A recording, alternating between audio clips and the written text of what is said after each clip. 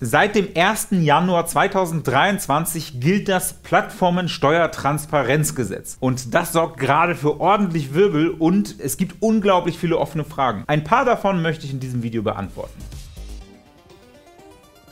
Hi, mein Name ist Melcher von der Konto Steuerberatung und mit dem Plattformensteuertransparenzgesetz werden große Plattformen im Internet dazu verpflichtet, die Umsätze, die auf dieser Plattform gemacht werden, an das Finanzamt zu melden also zum Beispiel Amazon, eBay, Airbnb, Etsy und so weiter. All diese Plattformen werden in Zukunft die Umsätze an das Finanzamt melden. Und in diesem Zusammenhang ist gerade ganz viel Aufruhr in Social Media und Medien und so weiter. Und es gibt wahnsinnig viele Fragen, die noch offen sind. Wichtiger Hinweis zum Anfang erst einmal, wenn du noch gar nicht von diesem Gesetz gehört hast oder noch gar nicht weißt, was eigentlich drin steht, wer betroffen ist und was das für Konsequenzen hat, dann schau erstmal das Video, was ich dir oben rechts verlinke, an. Denn da bin ich ganz genau auf diese Fragen eingegangen. In diesem Video möchte ich wirklich einfach nur die häufigsten Fragen beantworten, die ich in diesem Kontext gehört habe oder gelesen habe oder selbst bekommen habe.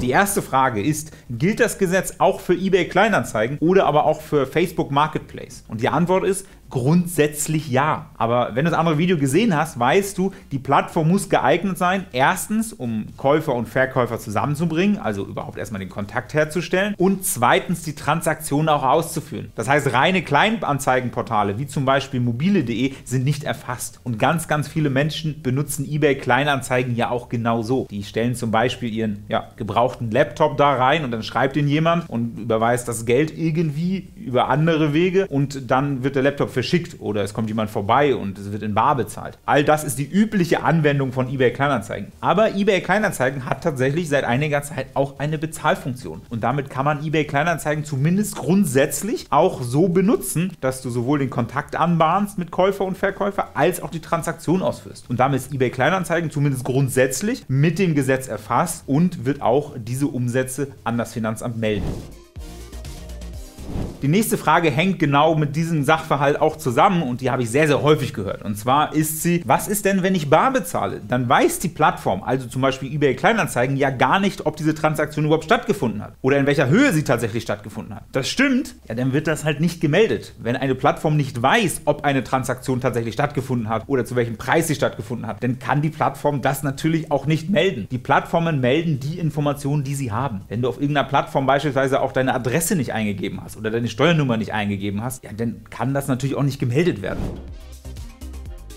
Eine weitere Frage, die ich ganz häufig gelesen habe, ist, muss ich jetzt Steuern bezahlen, wenn ich über 2000 Euro Umsatz liege? Oder muss ich jetzt mit der Geldstrafe rechnen, wenn ich in der Vergangenheit über 2000 Euro lag und das nie gemacht habe? Und hier möchte ich ganz ehrlich alle Leute ein wenig beruhigen. Die 2000 Euro Grenze ist die Grenze, ab der diese Online-Plattformen die Umsätze ans Finanzamt melden. Aber diese 2000 Euro haben nichts aber auch gar nichts mit deiner Steuerpflicht zu tun. Du kannst auch 20.000 Euro Umsatz machen und trotzdem keine Steuern zahlen müssen. Und es kann auch sein, dass du unter diesen 2.000 Euro liegst und trotzdem Steuern zahlen musst. Das sind komplett zwei unterschiedliche Paar Schuhe. Gerade Sammler waren da sehr in Aufruhr. Wenn du Sammler bist, dann ist ja das Handeln, das Tauschen und so weiter dein Hobby. Das heißt, wenn du Briefmarken, Figuren, Karten, was auch immer sammelst, dann kann das sein, dass du hunderte Transaktionen pro Jahr hast und vielleicht auch Zehntausende Euro Umsatz machst. Aber auf der Umsatzseite steht dann halt ein hoher Betrag, auf der Ausgabenseite in der Regel ja auch. Das Ganze ist dann aber ein Hobby. Und wenn das ein Hobby ist, dann musst du auch in Zukunft keine Steuern bezahlen. Also, liebe Sammler, ihr könnt euch beruhigen, ihr werdet jetzt durch dieses Gesetz nicht steuerpflichtig.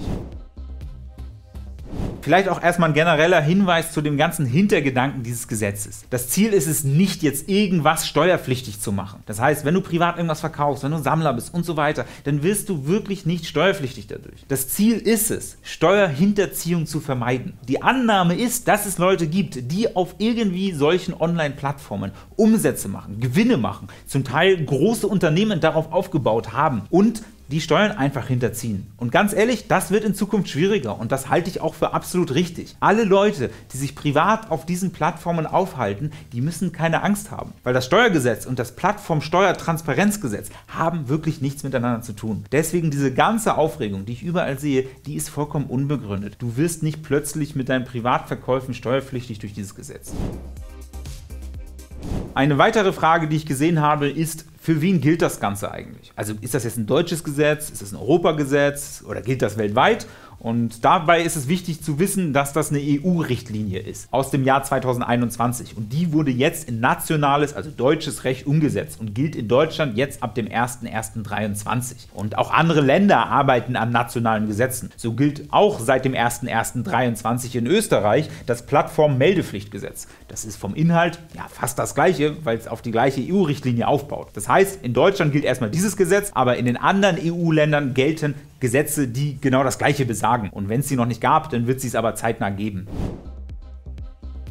Eine weitere Frage und weiteres Bedenken, was ich relativ häufig gehört habe, ist, oh Gott, was muss ich denn jetzt machen? Bisher habe ich gar nichts angegeben. Ich habe unter Umständen sogar Gewinne gemacht. Das heißt, es gibt durchaus Leute, die auf diesen Plattformen nachhaltig tätig waren und Gewinne gemacht haben. Und die große Frage ist, was mache ich denn jetzt? Und das kann ich dir leider so ganz pauschal, ohne deinen Fall zu kennen, gar nicht beantworten. Was ich dir aber dringend raten kann, ist, du solltest unbedingt mit einem Steuerberater sprechen, damit du besprichst, wie du damit umgehst. Das heißt, du solltest deine Selbstständigkeit natürlich anmelden und auch die entsprechenden Steuern bezahlen. Und zum Thema Steuerhinterziehung für die Vorjahre gibt es auch Lösungen, die strafbefreit sind. Das heißt, du musst jetzt nicht mit Gefängnis oder so rechnen. Es gibt auch Möglichkeiten, quasi das wieder sauber zu ziehen. Aber dafür solltest du mit einem Steuerberater sprechen.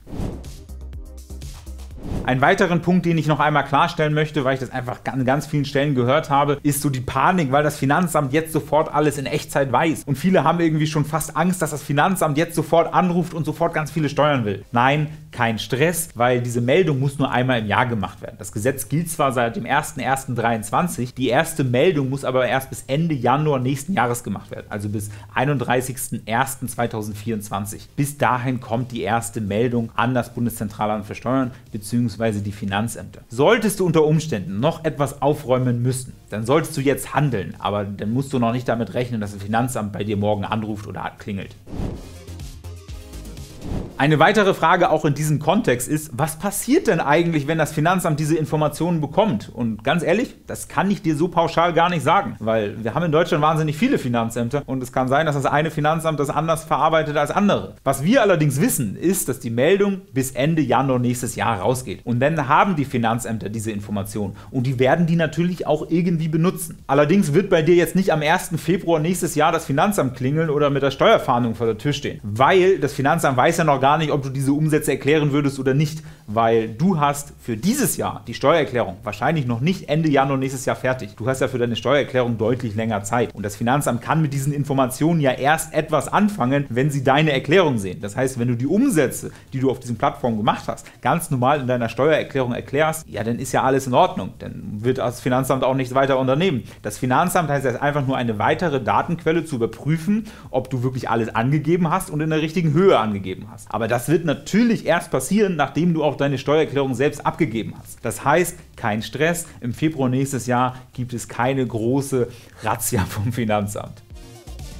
Ich hoffe, mit diesem Video konnte ich dir ein paar Fragen beantworten. Wenn du noch Fragen hast, dann hast du zwei Möglichkeiten. Erstens, du schreibst uns einen Kommentar unter diesem Video und ich versuche dir da gerne weiterzuhelfen. Ich möchte dich aber auch gerne aufmerksam machen auf unser Webinar, was wir genau zu diesem Thema machen. Und zwar am Donnerstag in dieser Woche. Wenn du das Video erst später siehst, dann verlinke ich dir unten aber einmal die Aufzeichnung von dem Webinar. Und in diesem Webinar kann ich auf alle Fragen eingehen, die du hast. Deswegen möchte ich dich an dieser Stelle auf jeden Fall zu unserem Webinar einladen. Ich möchte aber auch den Hinweis geben, dass wir eine Steuerberatungsgesellschaft sind und wir sind spezialisiert auf Selbstständige. Das heißt, wenn du Hilfe brauchst bei Steuererklärungen, bei dem Erklären deiner Umsätze, dann schau dir doch einmal an, ob wir dir eventuell weiterhelfen können. Alle Informationen zu unserem Angebot verlinke ich dir einmal hier. Du kannst aber natürlich auch erstmal weitere Videos auf diesem Kanal anschauen, zum Beispiel dieses hier oder dieses hier.